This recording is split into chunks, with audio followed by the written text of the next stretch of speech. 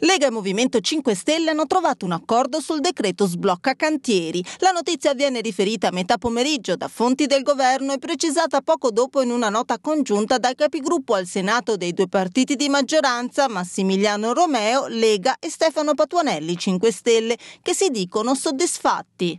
Il nodo da superare era lo stop di due anni richiesto dalla Lega al codice degli appalti. L'ostacolo è stato aggirato con uno stop parziale di alcuni punti rilevanti del codice degli appalti per due anni e con il mantenimento delle norme già in vigore per i subappalti. Lo sblocco del decreto, che sarà votato in aula al Senato domani, avviene a seguito di una telefonata tra i due vicepremier Luigi Di Maio e Matteo Salvini, definita lunga e cordiale in un clima positivo. Un colloquio che segna la ripresa del confronto diretto fra i due leader del governo giallo-verde all'indomani della conferenza stampa ultimatum del presidente del Consiglio Giuseppe Conte, il quale oggi aveva lanciato un appello alla Lega.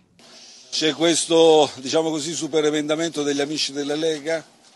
Ho cercato di rappresentare loro che mancano ormai pochissimi giorni per la conversione. Siamo al Senato, dobbiamo passare alla Camera